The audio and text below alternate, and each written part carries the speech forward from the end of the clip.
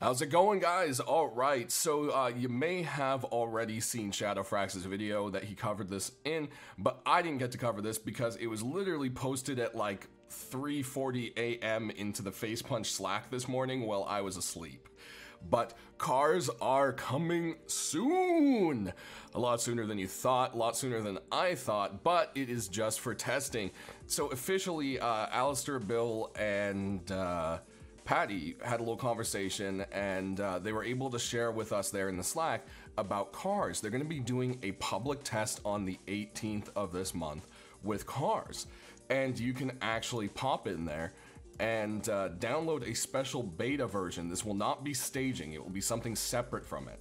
And uh, that is going to be for the 18th of May, so 18th of this month. You can download that and play test cars. Then after that has ha happened, they're hoping this, and this is their schedule. It could change depending, like let's say people start playtesting it and find a huge hitch or a problem or something that's really unbalanced. This could cause this schedule to change, but right now this is their plan. Early June, uh, they want to then merge cars to staging if all went well with this first testing this month.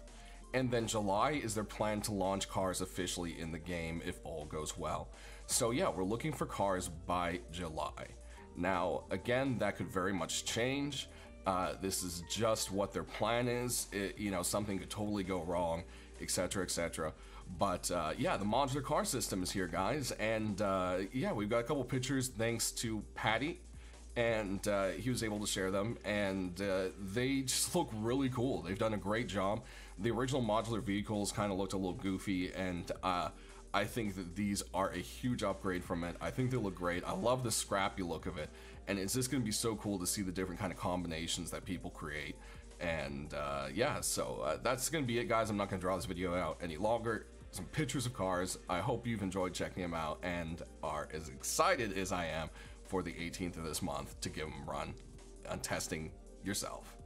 Thanks for watching, guys. Enjoy your weekend.